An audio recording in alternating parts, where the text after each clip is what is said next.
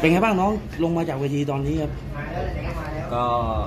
โล่งครับโล่งตอนนี้โล่งโล่งแต่ก็ยังขาสั่นเพราะว่าตื่นเต้นอยู่ตื่นเต้นอยู่เห็นเป็นไงบ้างวันนี้มาชกในบรรยากาศที่มีคนดูหลักพันคือแบบเออคือที่บ้านผมเนี่ยแฟนคลับไทยแลนด์ก็มีคนดูเยอะอยู่แล้วแต่ที่มาเวทีแรกที่เดินมันก็จะมีทั้งเชือกที่เราไม่คุ้นเคยมีแสงสีอลังการคือแบบว่า เป็นไงสามยกที่ตลอดระยะเวลาที่สู้กัน มันมีช่วงไหนบ้างที่เรากดดันมากที่สุดครับน้องไม่มีครับ เพราะว่าเรากดดัน เราอยู่ในห้องนี้เรากดดันมากเต็มที่แล้ว ทุกคนทุกคนให้กำลังใจเรามาก เราสู้ แล้วก็การฝึกฝนสามนาทีสามนาทีสามยกเราไม่เหนื่อยเลย แต่เราอาจจะไม่ได้ออกอาวุธ เพราะว่าด้วยความที่เราไม่เป็นมวย การยืนมวยหรือว่าการการออกอาวุธการการระยะมันอาจจะผิด พลาดไปหน่อยทำให้เราเตะโดนข้อเท้าบ้างอะไรบ้างก็ก็กลายเป็นละโอ้เขาแทนก็โอเคครับโดยรวมผลผลงานทั้งสามยกที่ผ่านมาเรา คิดว่าเรา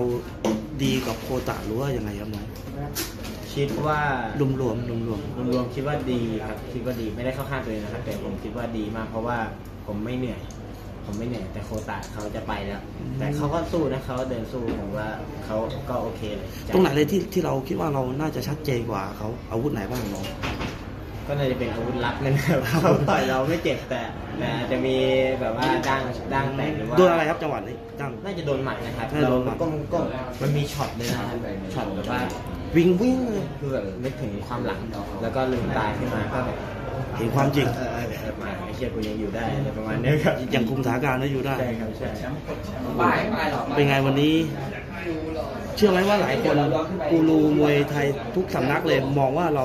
จะไม่น่าครบยกไฟนี้ เรายืนได้สามยกเรารู้สึกไงบ้างก็ ส่วนตัวนี้รู้สึกดีใจที่ยืนได้ครบสามยกครับเพราะว่าเราเรามั่นใจอยู่แล้วว่าเราต้องยืนครบสามยกพวกพี่เชนเซียนหรือว่าเชนมวยเขาอาจจะบอกว่าเรายืนไม่ได้เพราะว่าเขาก็ดูตั้งแต่มวยเด็กอะไรอย่างนี้ว่าแบบเอ๊ะสถานการณ์แบบนี้ยืนไม่ได้ แบกน้ำหนักสิบโลยืนไม่ได้แน่นอนอะไรประมาณนี้ครับแต่เราผิดจากเราไม่ใช่มวยเด็กเพราะฉะนั้นมีอะไรเซอร์ไพรส์อีกเยอะครับ เป็นไงวันนี้เห็นข่าวแว่วๆเมื่อกี้อยากจะเจอเขาในรูปแบบเอ็มเน้องถ้ามีถ้ามีโอกาสนะครับถ้ามีโอกาสก็เจอได้ทุกรูปแบบเพราะว่าผมตัวผมเนี่ยมาชกมวยกันตอนโตแล้ว เพราะฉะนั้นอะไรที่เก็บประสบการณ์ได้ครูครูคนนี้มาสอนเข่าครูคนนี้มาสอนหมัดครูคนนี้มาสอนเตะผมก็เก็บเก็บเก็บมาครับโดยรวมวันนี้พอใจผลงานตัวเองไหม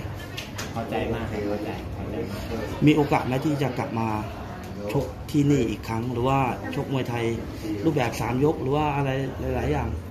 ถามว่ามีโอกาสไหมมีโอกาส 60%ครับอีก40%เขาทำใจก่อน แล้วก็ถ้าจะเห็นผมลดแล่นในมืออาชีพก็ ก็อาจจะเป็นเรื่องของอนาคต เพราะว่าส่วนตัวผมตอนเด็กก็ไม่คิดว่าจะได้มาชกมวยแต่ก็มาแล้ว ในเวทีมาตรฐานอย่างราชดำเนิน